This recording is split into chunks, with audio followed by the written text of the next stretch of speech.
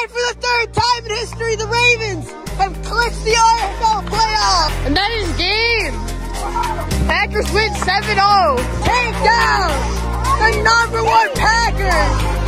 Blue and the receivers are headed to the RFL playoff. Throws. Oh! One and ten! And we'll see you in the Rose Bowl.